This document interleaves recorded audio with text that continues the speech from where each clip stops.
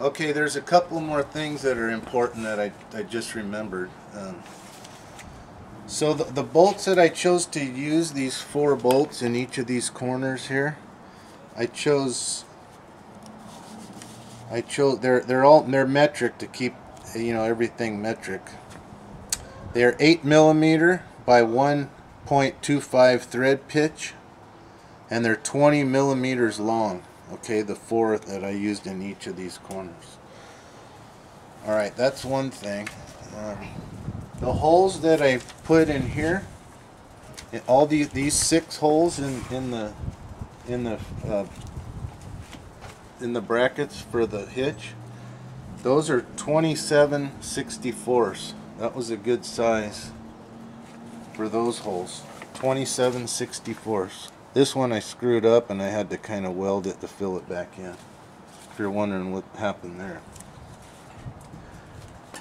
Uh, okay, we're going to go over these dimensions here. So from the from the first from from the edge see how we can do this here so if, again from um, these are all outer edge measurements I keep giving. Okay. So where you want to pick up the first hole is an inch and three quarters. That's the first hole. From this outer edge to the first hole go an inch and three quarters in. Okay. And then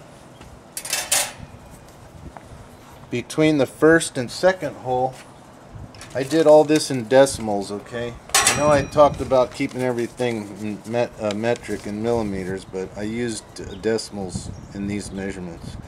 So between the first and second hole between the center here and the second hole is 3.705 thousandths. Alright, 3.705 between the first and second hole. And then what I did is between the first and third hole, it's 6 and 7 eighths. Okay, let's just verify that here. Yeah, between the first and third hole, it's 6 and 7 eighths.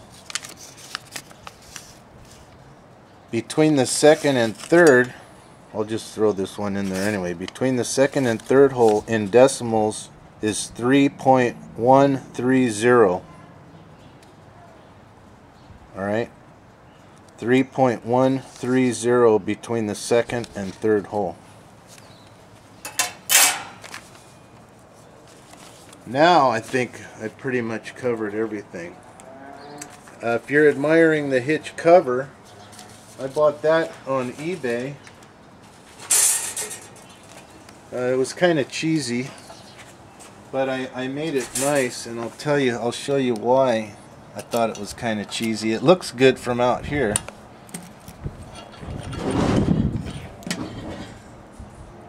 So basically, when you buy it, it's just this part. I made the gray part out of PVC.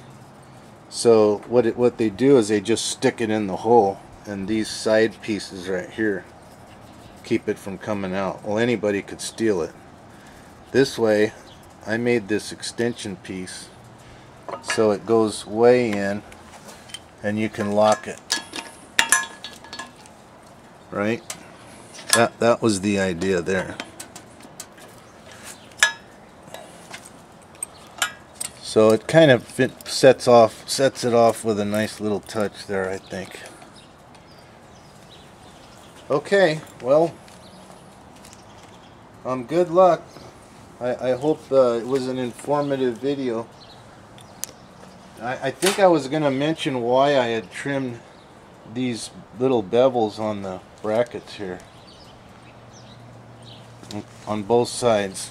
If you notice these, how I had to put a little bevel on here. It's about 3 sixteenths across the face of it. That's due to, again, uh, how the stock bumper bracket fits over this.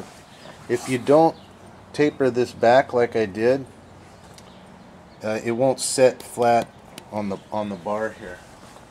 And I'll get the bumper and we'll get a close-up on it.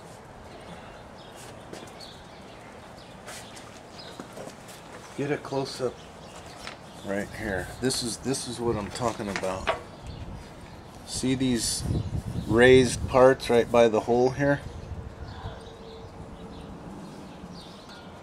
So those little relief bevels I cut in the bracket were because of the of that the way they stamped the the stock bu uh, bumper bracket. All right. Well, if you choose to make this, it was a fun project for me, and um, hopefully I, I explained how I did it well enough where you're not totally confused. But I, I way overbuilt it, and I I hope it gives me years of uh, trouble-free use. I'm sure it will. Okay, bye.